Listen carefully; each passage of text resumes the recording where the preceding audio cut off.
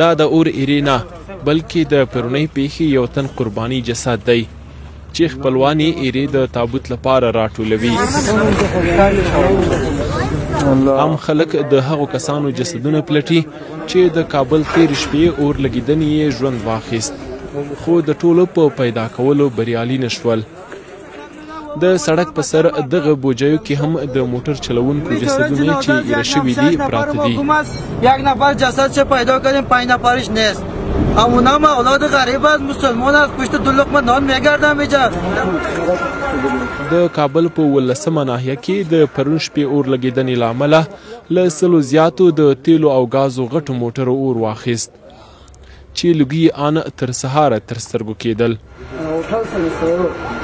نه يوازي د تېلو او ګازو، بلکي د خوراکي توکو ګڼي لارۍ هم سوځېدلي دي.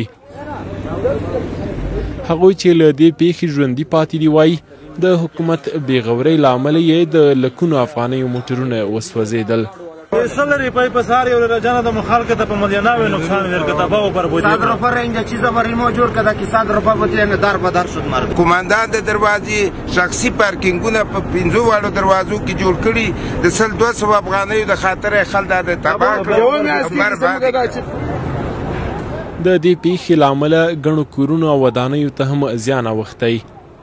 او خلک په نیمه شپه له خپلو کورونو په تېښته شوي دي. او چې کوم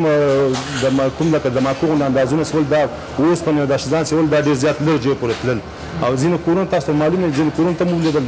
زیاتره کورونه ته مات زوبه ولیدل او ځینې کورونه ته مالي زیان او داسې نور نقصان ډېر زیات وکړ. د یادې پېښې له امله د کابل برېښنا هم پرې شوې وه. او د شمالي ولایتونو لاره د ساعتونو لپاره تړل شوې وه. د افغانستان کورنۍ چارو وزارت وایي په دې تړاوي څېړنې روانې دي او په یاده پیښه کې تر دا مهاله اوه کسان وژل شوي او څوارلس نور ټپیان دي زموږ بررسي لا ادامه لري ترڅو د اور لګیدنې لامل او اوښتې زیانونه مالي زیان مشخص شي